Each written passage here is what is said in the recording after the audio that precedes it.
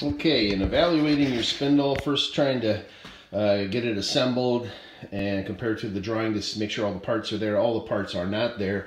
We are missing one of the uh, spring washer spacers, according to the drawing anyway, although the drawing is a little off on the size of bolts. We seem to have all the bolts here.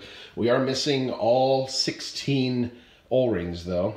Uh, but the biggest egregious thing is the mating surfaces, the precision mating surfaces of the bearing spacers and the, the front housing. They all have precision mating surfaces. They have been purposely sabotaged and I marked them with a red Sharpie to show the ding marks that have been purposely put in them by uh, you know a strike of a tool or some something not only there but also there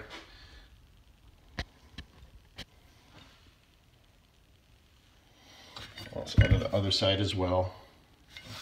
So uh, they seem to have intended the person that you chose to do it to fail.